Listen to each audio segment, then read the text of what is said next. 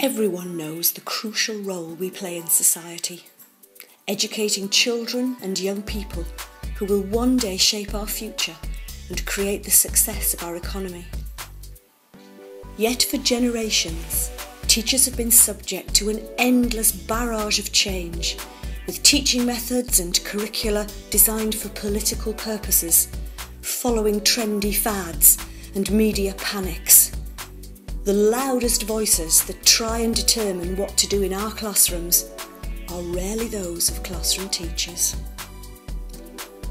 Our professional status has been eroded away by layer upon layer of initiatives and pressures from those who don't have deep experience of the most important place in education, the classroom.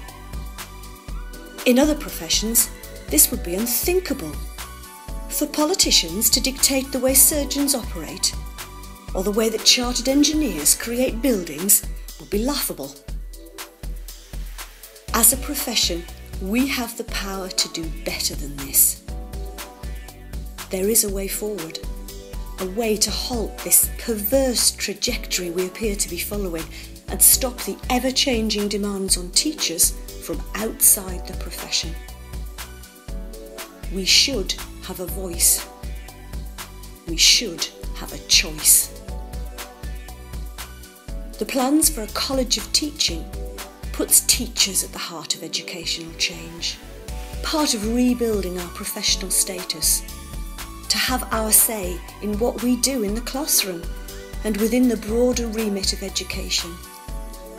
We want teachers to be the respected voice of our profession. After a recommendation from a select committee in 2012, a blueprint mapping the creation of a new, voluntary, independent professional body was put forward.